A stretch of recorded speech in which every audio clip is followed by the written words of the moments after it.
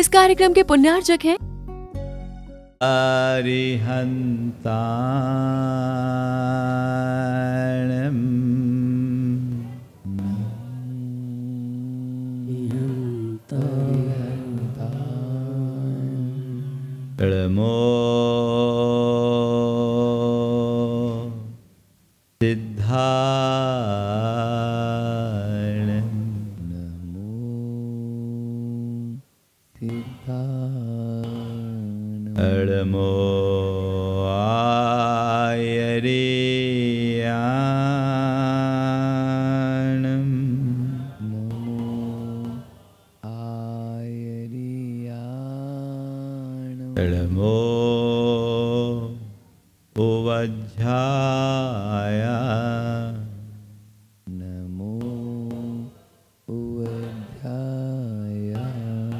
अडमोलोये लोय तशा लोये शिवशासो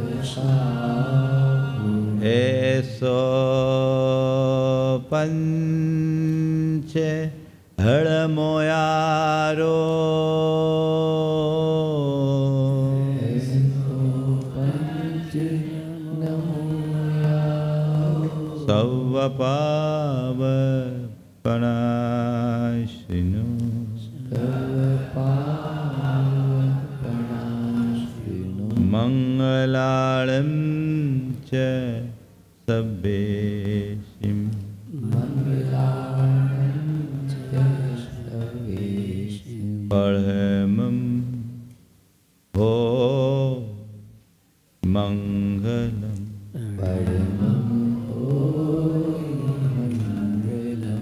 जय भलो देवादिदेव एक हज़ार आठ श्री भगवान महावीर स्वामी की। जय जय जय। अहिंसा परमो धर्म की। जय जय जय। परम पूज आचार्य गुरुवर श्री विद्यासागर जी महाराज की। जय जय जय। बोले परम पूज प्रभु आज बात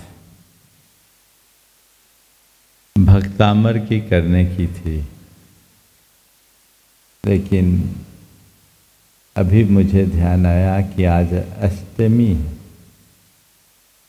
और शास्त्रकारों के अनुसार अष्टमी के दिन किसी ग्रंथ की शुरुआत करना उचित नहीं। इसलिए अब आज और कल दो दिन और इंतज़ार करा के परसों से भक्तामर की बात आप सबके बीच आएगी लेकिन आज कुछ बातें ज़रूर करने का मन हम लोग अक्सर दूसरों से सवाल पूछते हैं।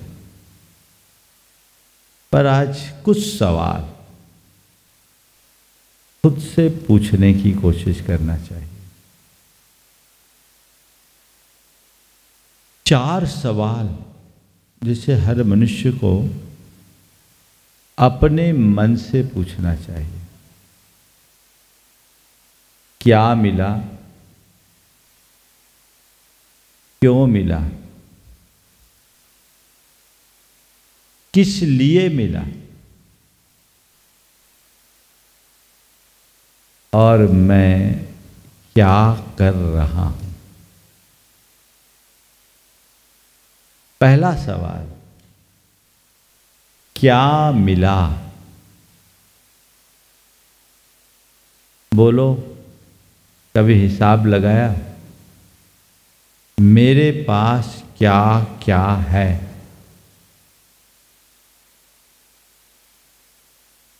कभी लगाया?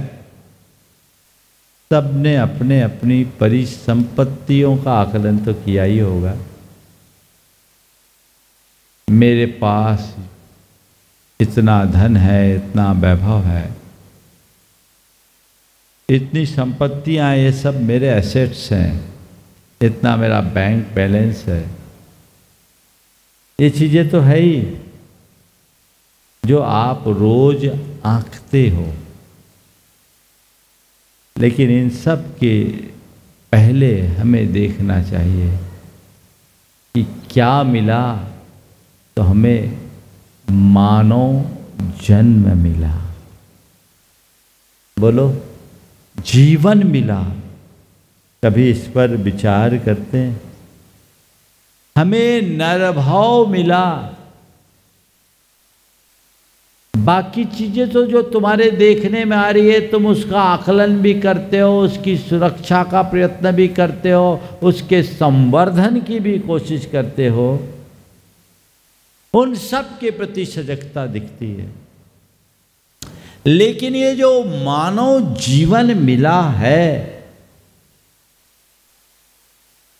ये अलभ्य लाभ है, ऐसा कभी प्रतीत हुआ?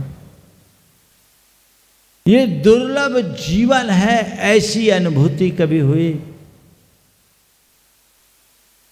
और मानव जीवन ही नहीं मिला। मानव जीवन पाकर अच्छा शरीर मिला। काश अभी हृष्ट पृष्ठ शरीर के धारी होने की जगह अगर अंगहीन होते, विकलांग कहलाते, विकृतांग होते तो हमारा क्या होता? सड़क चलते ऐसे लोग दिखाई पड़ते हैं कि नहीं? उनको देख करके कभी मन में आता है, एक मनुष्य मैं हूँ और एक मनुष्य ये है। आज मैं मनुष्य होकर के भी पूर्ण सक्षमता से जीवन जी रहा हूँ और ये मनुष्य होकर के भी लाचारी और बेबसी से जीवन काट रहे हैं। अंतर है। स्वस्थ शरीर की उपलब्धि। कोई साधारण घटना है? अगर हमारे शरीर में किसी भी प्रकार की कोई डिसेबिलिटी होती तो सक्षम होते हो न इस अर्थ में भाग्यवान? बोलो हाँ?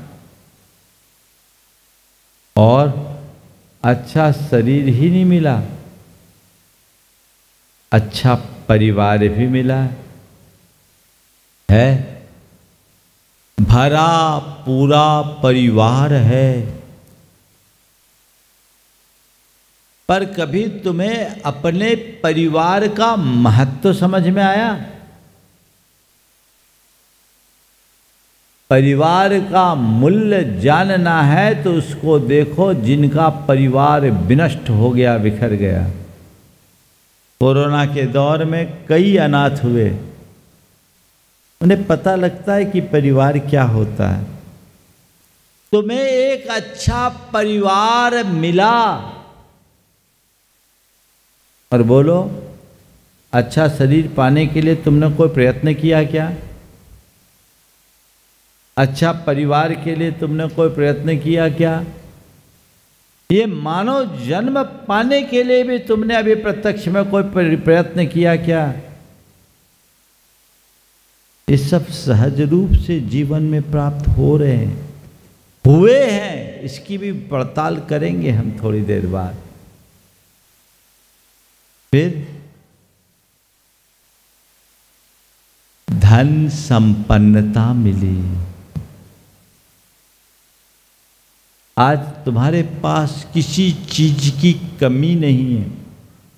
थोड़े थोड़े से प्रयास से बड़े बड़े लाभ प्राप्त कर लेते हो। बहुत से ऐसे लोग भी हैं जिनके पास दो जून की रोटी की भी व्यवस्था नहीं है। खाने को रोटी नहीं पहनने को वस्त्र नहीं, रहने को मकान नहीं। हर चीज़ में लाचार और बेबस।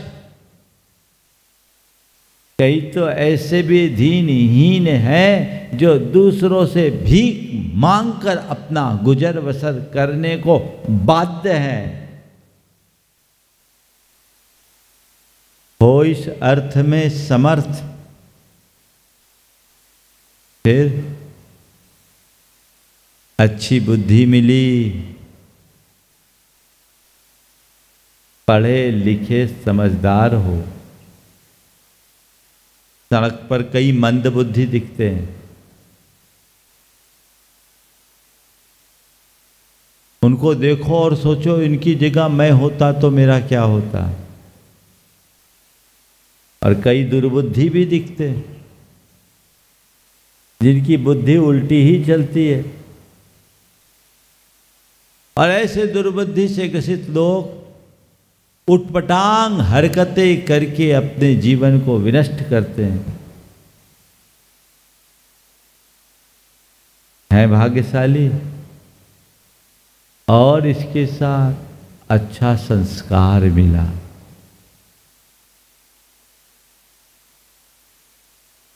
जिसके परिणाम स्वरूप एक सभ्य नागरिक की तरह जी रहे हो। काश ऐसा नहीं होता। तो आवारा, अपराधी, लुच्चे, लफंगे की भांति जीवन जीते और यहाँ बैठने की जगह सीख चो के अंदर होते हैं। ये सब जीवन की उपलब्धियाँ हैं हैं कि नहीं बोलो? आ? तो क्या मिला? बहुत कुछ मिला। मिला कि नहीं मिला?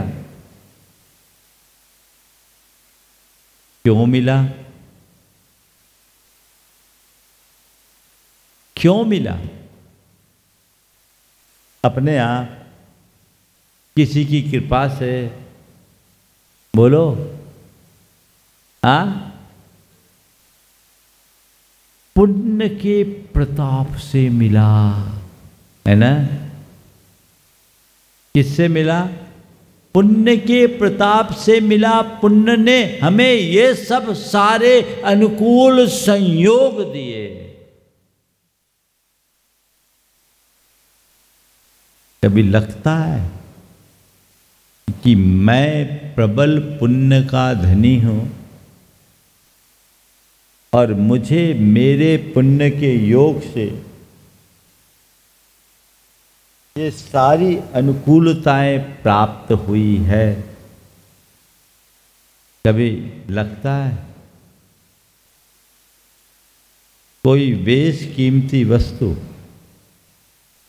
ऊँची कीमत देकर आप खरीदते हो या पाते हो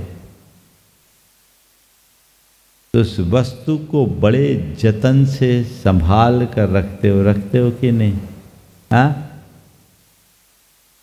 इस संपूर्ण जीवन और जीवन के साथ सुलभ, अनुकूल संयोगों को फुकट में पाए हो क्या? बोलो। ऊँची कीमत चुका करके पाए हो। तो इसे संभाल कर रखना है। या यूँ ही गंवाना है। हमें ये तय करना है।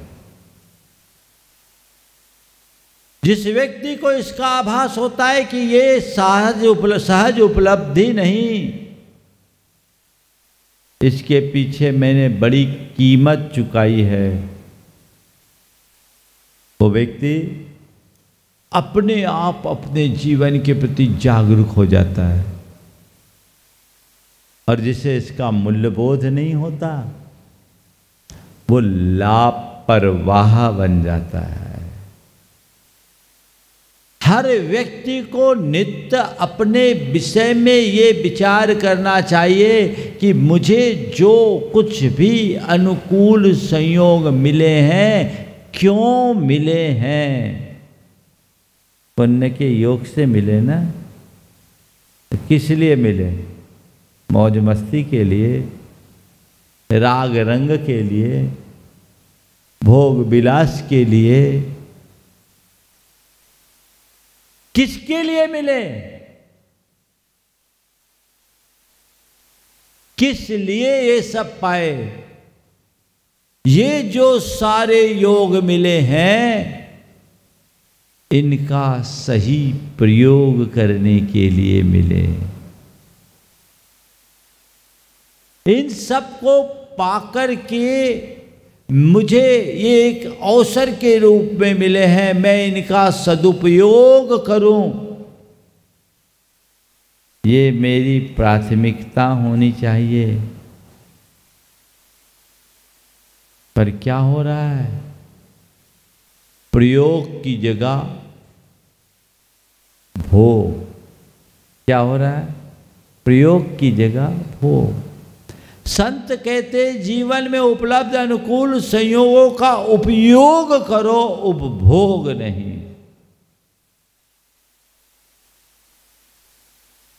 अगर तुम्हारी विवेक बुद्धि जागृत होगी तो तुम इनका उपयोग करोगे और जो विवेक बुद्धि से शून्य होंगे वे केवल उपभोग करेंगे। ये उपयोग के लिए मिले हैं, उपभोग के लिए नहीं, ये अपने अंदर बिठाइए और इनका उपयोग कीजिए, उपभोग से बचिए। मनुष्य जीवन को कड़वी तुम्बी की तरह कहा गया तुम्बी समझते ना? लौकी, कद्दू वगैरह सूख जाए तो उसको तुम्बी कहते हैं। उस तुम्बी को कोई खा ले तो फ़ूड पॉइजन हो जाए। लेकिन उस तुम्बी के सहारे बड़े बड़े नदी नाले को तैर कर पार किया जा सकता है। तो संत कहते हैं, ये जीवन कड़वी तुम्बी के समान है। इसका उपभोग करोगे तो मर जाओगे और उपयोग करोगे तो तर जाओगे। इसलिए उपयोग करो, उपभोग नहीं। उपयोग क्या है? जिस पुण्य के परिणाम स्वरूप ये उपलब्धियाँ पाए हो, उस पुण्य की वृद्धि करो। उसका भोग नहीं। पुण्य के भोग में पाप की वृद्धि होती है और पुण्य फल के त्याग में पुण्य की वृद्धि होती। तुम जितना पुण्य को भोगोगे, उतना पाप बढ़ेगा और पुण्य के फलों का जितना त्याग करोगे, उतना पुण्य बढ़ेगा। महाराज, बात समझ में नहीं आ रही। अभी समझाए देता हूँ। पुण्य के फल स्वरूप तुम्हें जो भी साधन सामग्री मिली, इनके भोग में क्या करोगे? मौज मस्ती, भोग विलास, ये पाप है कि नहीं? तो पुण्य के फल को भोगने में जो मौज मस्ती है, जो भोग विलास है, इसमें पाप है कि नहीं? है ना? तो पुण्य के फल को भोगने में पाप होता है। इसलिए हमारी संस्कृति पुण्य के फल को भोगने की जगह पुण्य के फल को त्यागने की बात सिखाती अपने यहाँ तपस्या करते, उपवास करते, इसलिए कि भोजन नहीं मिले, इसलिए उपवास कर लो। नहीं। भोजन सुलभ होने पर भी भोजन का त्याग करो, ये उपवास है। पुण्य के फल स्वरूप सारे अनुकूल संयोग मिले हैं, पर उनके भोग को पाप का कारण मानते हुए उनसे बचो।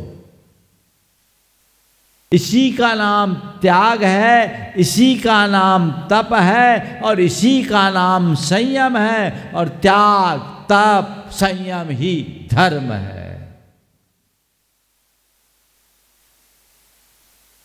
बोलो। किधर रुझान है? तुम लोग धर्म भी करते हो ना? तो त्याग तब संयम के लिए कम, बहुत कम लोग होते हैं जो हम लोगों के पास आते हैं और कहते हैं, महाराज, धर्म वृद्धि का आशीर्वाद दो। ज़्यादातर तो महाराज ऐसा आशीर्वाद दो कि दुकान धंधा अच्छे से चले, घर परिवार बढ़िया चलते रहे, सब कुछ ठीक ठाक चलता रहे। अरे ऊपर से ठीक ठाक, भीतर से फुटफाट भीतर की हालत को ठीक करो, उसको संभालोगे तो बाहर का अपने आप संभल जाएगा।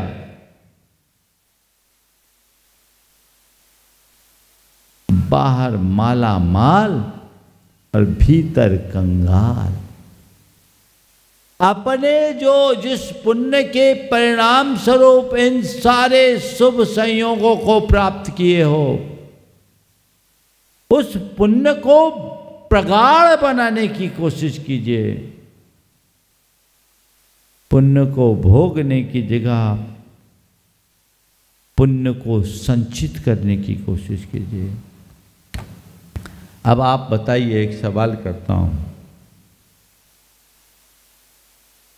आप ये तो मानते हो कि सारे संयोग पुण्य के परिणाम स्वरूप मिले यानी पुण्य ने दिए, है ना?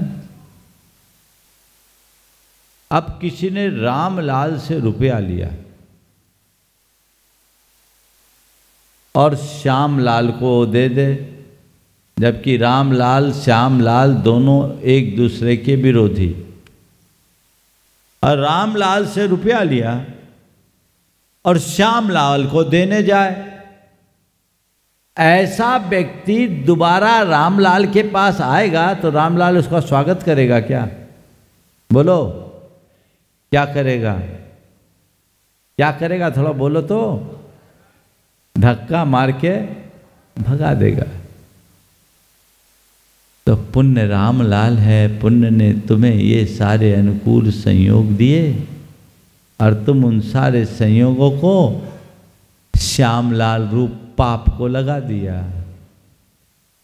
अब दोबारा उस रामलाल के पास जाओगे, कहेंगे, जा बेटा, आप वहीं जा। तुझे श्यामलाल प्रिय है ना तो वहीं रह।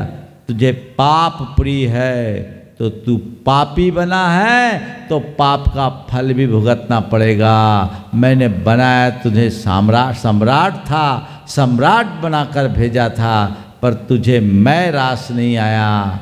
तुझे वो भिखारी पाप रास आया। जा, अब उसके ही पास जा। अब भिखारी बन, तेरी इसके अलावा और कोई गत नहीं। जो व्यक्ति अपने संचित पुण्य का दुरुपयोग करते हैं, उनका अर्जित पाप पतन कराता है।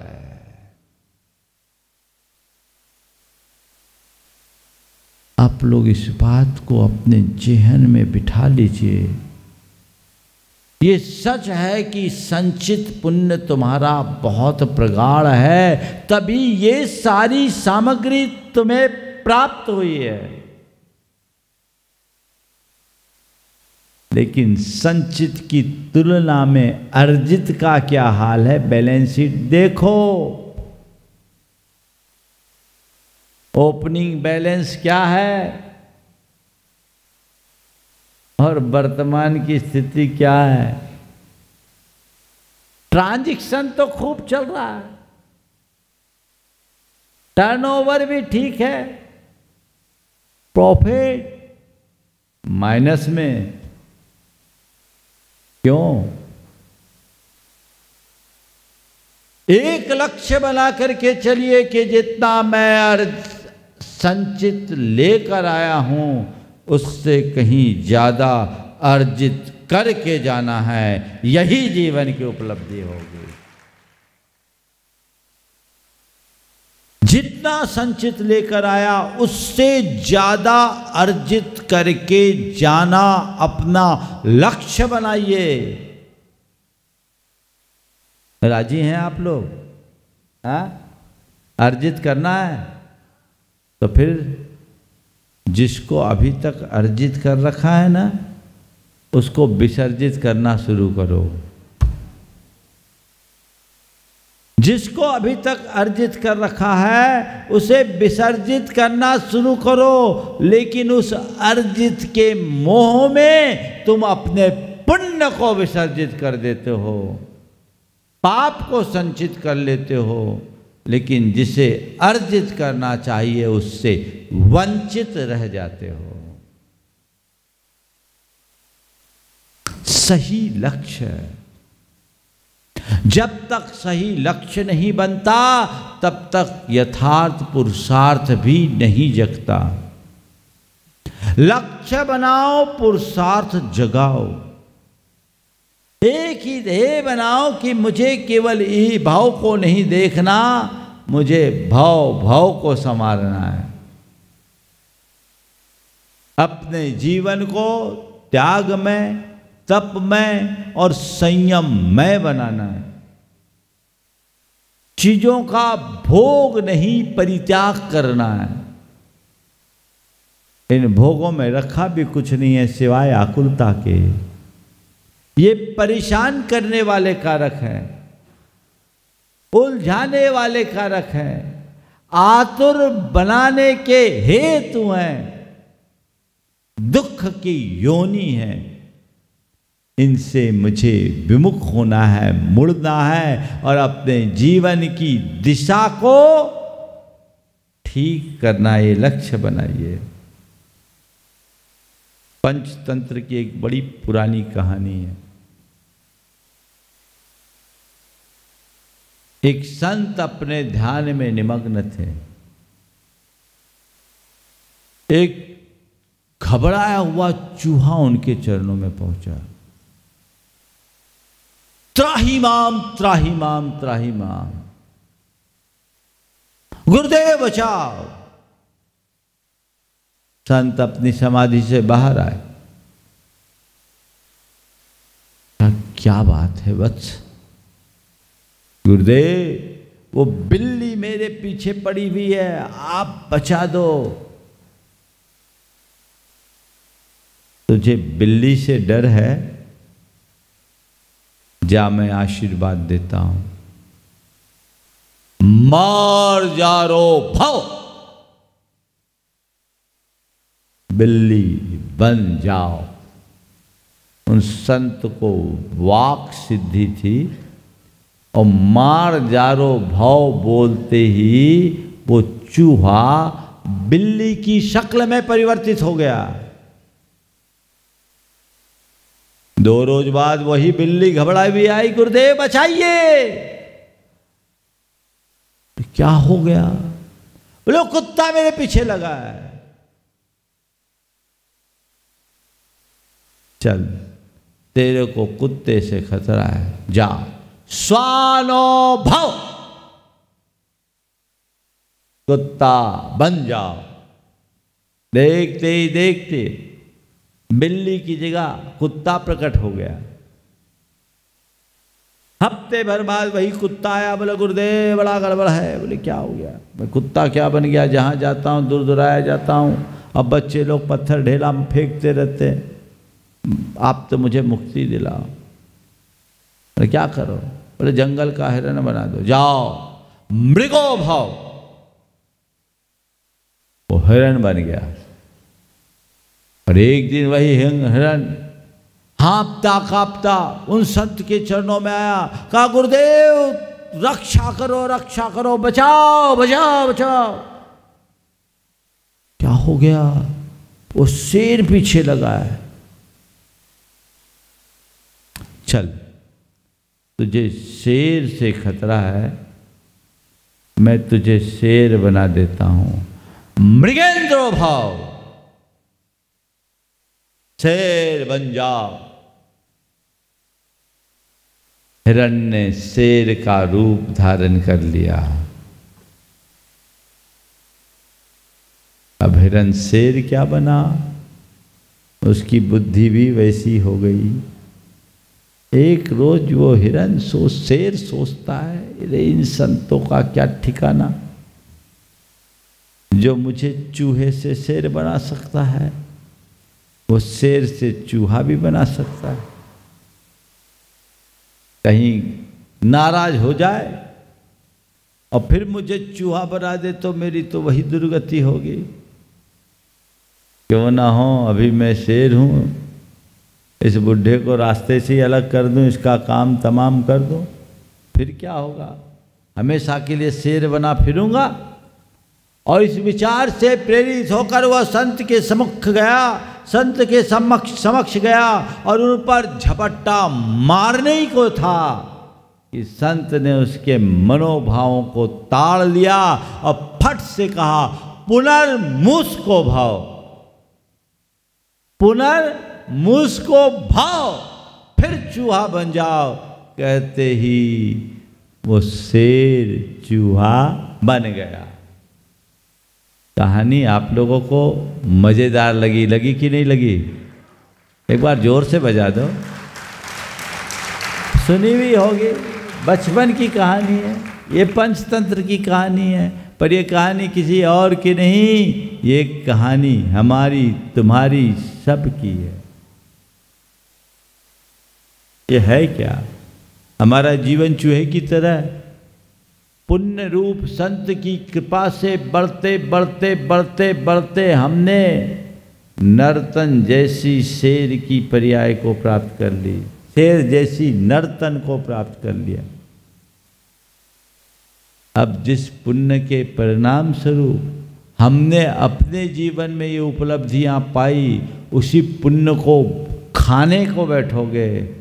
तो वापस नरक निगोद जाने को तैयार होना पड़ेगा। और कोई रास्ता, और कोई विकल्प बचेगा ही नहीं। तो जिसके फल स्वरूप तुमने ये सब पाया, उसको ही भोगने में लग जाओगे। तो पतन अवश्यम भावी है।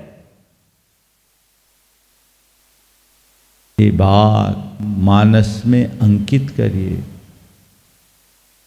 इसलिए जीवन में जो धन है, अच्छे साधन है और अनुकूल सामग्री है, इसका पाप में प्रयोग कम से कम कीजिए, परमार्थ में अधिक से अधिक उपयोग कीजिए।